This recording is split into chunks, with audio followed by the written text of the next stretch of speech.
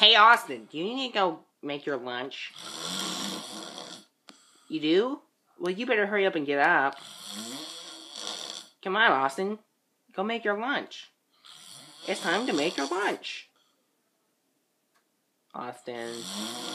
No, I don't. Well, I don't want to either. So you gotta do it yourself.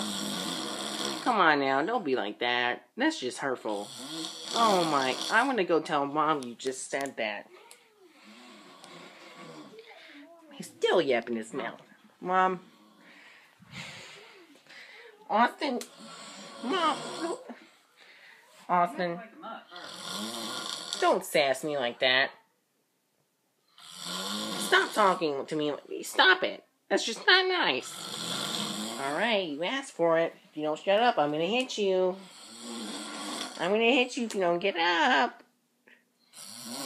Merry Christmas! No, it didn't work. Okay. Um. Wow, he folded his hands.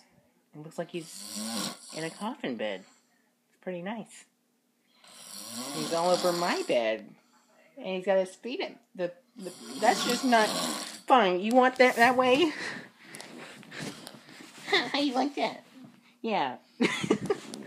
Come on. Go make your lunch, Austin.